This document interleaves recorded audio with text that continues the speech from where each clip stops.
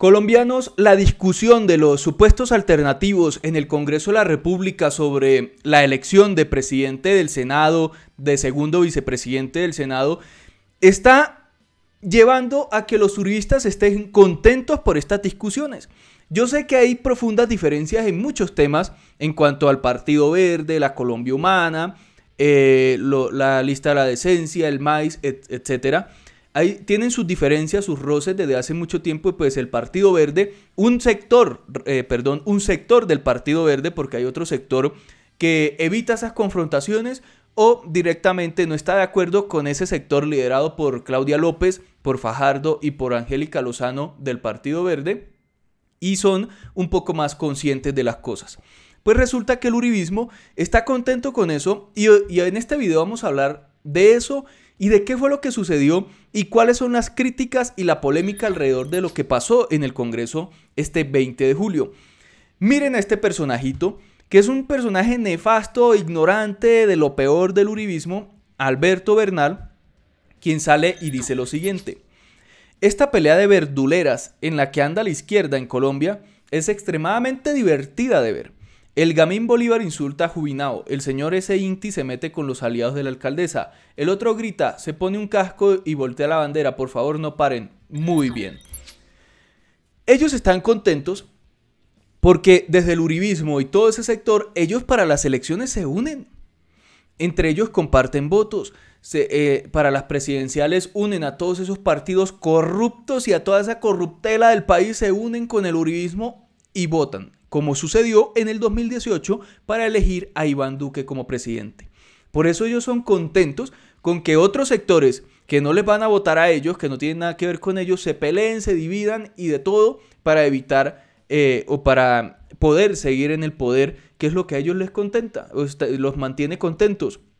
Por eso sale Alberto Bernal y he visto a mucha gente contenta por eso desde el uribismo y me imagino que Uribe debe estar allá revisando eh, Twitter o mirando cualquier cosa, ay mira, esta gente cómo se pelea, nos van a poner el camino muy fácil para llegar a la presidencia otra vez y mantenernos en el poder. Pero ¿qué fue lo que pasó? Pues resulta y bueno, el senador Gustavo Bolívar acusó a los verdes de unirse con el uribismo. Hay acusaciones de parte y parte. ¿Qué fue lo que sucedió? Pues cuando inicia una legislatura, se eligen esta, el presidente de, Senado, presidente de Cámara, primer vicepresidente, segundo vicepresidente, etc. Esas elecciones se hacen, ya eso se ha cuadrado desde el 2018 cuando se elige el nuevo Congreso, organizan quiénes van a ser los presidentes en cada legislatura. Los partidos mayoritarios pues escogen su candidato para ser presidente del Senado, por ejemplo. Eh, la oposición por el estatuto de oposición tiene derecho a una vicepresidencia, que en este caso pues la segunda vicepresidencia. Eso ya está cuadrado desde el 2018. La gente vota eh, por esas, em, esas planchas, le llaman, o por los candidatos votan para evitar que se estén generando votaciones y se genere un problema bastante grande perdón, en la elección de este presidente, vicepresidente, etcétera. Por eso desde el 2018 se cuadra, se dice Partido Conservador en tal legislatura va a poner eh, su candidato, eh, Cambio Radical pondrá su candidato, Centro Democrático pondrá su candidato, etc. Y para la vicepresidencia, la segunda vicepresidencia, que es la que otorga el estatuto de oposición, también eh, se escoge quiénes van a ocupar en las legislaturas, Partido Verde, en este caso pues la lista de la decencia, etc. Ya se sabe que ellos van a poner su candidato y se debe votar por él, es lo que se dice en 2018, aunque a muchos no nos gusta esa manera, de hacer las cosas dentro del Congreso, así funcionan. Para que evitarse estar votando, eh, digamos, cada quien no, se hacen acuerdos, no, se piensa en eso, digamos.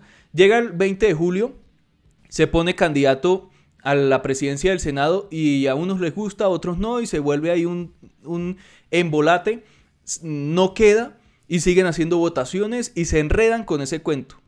O sea, yo creo que por eso es como que hacen ese, ese tipo de cosas para evitarse todo ese problema y ya se dice cada legislatura quién va a estar y qué partidos van a poner a sus candidatos.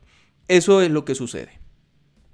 El día de ayer, 20 de julio, se inician las votaciones y ya se sabía que el Partido Conservador iba a poner ahí un candidato. Eso es se sabe que el partido lo va a poner. No se sabe pues quién, quién va a ser. Me imagino que ellos sabrán allá entre sus eh, pasillos, sabrán quién es. Pero nosotros ciudadanos de a pie no sabemos. Partido Conservador efectivamente pone, eso pues bueno, se sabe unos meses antes, claro. Ya se sabe que el Partido Conservador va a poner a determinada persona como presidente, pero desde el 2018 no se sabe. Ponen a esta persona, queda, pero la segunda vicepresidencia, donde iba a estar Gustavo Bolívar, votan todos esos de partido de gobierno, votan en blanco y no queda como vicepresidente, como segundo vicepresidente, es decir, lo sacan del paso. Por Bolívar votó el Partido Verde, votaron todos, o sea, ahí no hay problema. Resulta que pasa eso, o sea, se desbaratan todo y al parecer es por primera vez que incluyen el voto en blanco en una votación de esta, o sea, es algo inaudito, no había sucedido, siempre ya se sabía quiénes iban a estar ahí en esas vicepresidencia y presidencia y votaban y fuera y quedaban. O sea, eso siempre se sabía y es inaudito que saliera el voto en blanco, lo pusieron obviamente para hacerle desde el uribismo la jugadita a Gustavo Bolívar. Gustavo Bolívar en ningún momento salió con el Partido Conservador, que es lo que están diciendo desde algunos sectores. No, lo que, lo, que yo considero es que se malinterpretó en algún momento algo que dijo sobre el Partido Conservador, porque él dijo que esperaba cualquier cosa del Centro Democrático, pero que pensaba que el Partido Conservador pues le iba a votar teniendo en cuenta que el estatuto de oposición les da esa facultad para tener una vicepresidencia. Eso pasa, votan en blanco, Gustavo Bolívar, la bancada de los decentes, eh, el Colombia Humana, etcétera, Maíz y, unos congresistas del Partido Verde, se retiran del recinto porque les pareció terrible esto que había sucedido, teniendo en cuenta que el estatuto de oposición es el que les permite tener un candidato y deberían votar por el candidato que ponga el partido. Anteriormente los verdes habían puesto su vicepresidente, em, no sé si el polo ya había puesto, etcétera. Pero ya los de oposición, eh, el Partido Comunes también tuvo la pasada legislatura, si no estoy mal. Se salen del recinto porque les parece muy grave que esto sea así. El Partido Verde, eh, ese sector no se sale, se quedan y postulan a un miembro de su partido para esa vicepresidencia, que es el que quedó. Porque ya el resto del uribismo y toda esta gente votaron por los verdes. Y por eso Bolívar dice que el verde se unió con el uribismo, porque cuando ellos se salen, el partido, esa gente del Partido Verde se queda, ponen su candidato y lo logran elegir. ¿Cuál es el meollo del asunto? Que hay tres cosas, tres pilares en, este, en, este, en esta problemática, en esta pelea que hay. Uno, es que están acusando a los alternativos, a excepción de los verdes, de votar a la presidencia del Senado por el conservador y no por Antonio Sanguino, que fueron los que a último minuto pusieron los verdes ahí para la presidencia. Los verdes sí votaron por Sanguino. Pues algunos de, estos, de estas personas, de los alternativos, de esencia, etcétera, al parecer votaron por ese conservador que es cuestionado por narcotráfico y una cantidad de cosas terribles. Pues cumpliendo con lo que se había dicho en el 2018, eso al parecer lo hacen siempre y se ha hecho siempre. No estoy de acuerdo, pero es lo que hacen allá. Eh, no es nuevo, no es nuevo. Inti Prilla del Partido Verde también lo dice que él ha votado por gente de cambio radical, etcétera, porque es algo que se acuerda desde hace desde el 2018 y se vota para evitar ningún problema y se ponen cada uno los partidos. Ojo, Gustavo Petro, que es el que representa, el único que representa a la Colombia humana en el Congreso, es el único congresista, votó en blanco para, la elección de ese conservador. El resto, al parecer, votaron por ese conservador. Eso lo critico. A mí no me gusta esa manera de, de proceder allá. Es lo que han hecho siempre, es normal, no sé cuál es el problema ahorita y yo desde mi perspectiva siento que así no deben ser las cosas, no debería ser así y critico ese tipo de votación. Lo critico, no me gusta, se lo digo eh, concretamente. Esa es una de las críticas y de ahí se han agarrado los de unos del verde, eh, Katy Jubinado y toda esta gente para criticarlos diciendo que votaron por el conservador, etcétera, aunque eso es algo que hacen siempre y lo que se ha hecho desde siempre y lo, que se ha dicho desde el 2018. De ahí se agarraron. Segundo, cuando se sale Gustavo Bolívar y toda esta gente, al ver lo que había hecho todo el uribismo, El Partido Verde se queda y postula a un segundo vicepresidente que es un señor de apellido Name. Eso es ilegal. Es ilegal lo que hicieron porque solo se le da la oportunidad durante todo el periodo de Congreso a, los partidos para que postulen a una persona y tengan un vicepresidente. El Partido Verde ya había tenido un vicepresidente y si no estoy mal fue Angélica Lozano. Hacerlo otra vez es ilegal. Es ilegal, reitero. Y ellos violaron la ley.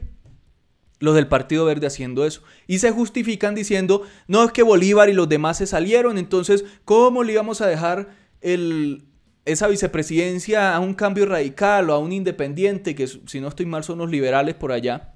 Entonces nosotros postulamos para no perder la vicepresidencia. De todas maneras, es ilegal. Y dicen que Gustavo Bolívar con su ego diciendo soy yo y nadie más y se salieron, lo están acusando de tener un ego muy alto y yo en este caso sí apoyo a Bolívar, aunque critico el tema del conservador, apoyo a Bolívar en esto, que se salieron, porque no es posible, o sea, ellos se salieron para dejar ese tema de la vicepresidencia en un limbo, para obviamente después demandar y buscar que sí se ponga a una persona de oposición en esa vicepresidencia. Obviamente pues se salen y después demandan porque lo que hicieron el uribismo es bastante bajo y posiblemente sea ilegal. Pero los del verde sí se quedaron allá e hicieron, postularon a su vicepresidente y eso es ilegal y le dieron la razón al uribismo. Y apoyaron la postura del uribismo. O sea, eso es grave. ¿Por qué apoyo a Bolívar en esto cuando se salieron? No es que sea él y su ego y no sé qué y no podían postular a otra persona como Aida Bella o Valenciano eh, que hacen parte de otro partido, sino que no se, no se podían quedar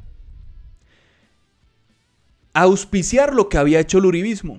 Porque entonces si se quedaban y auspiciaban y validaban lo que había hecho el uribismo, de ahora en adelante podían hacer lo mismo con los demás.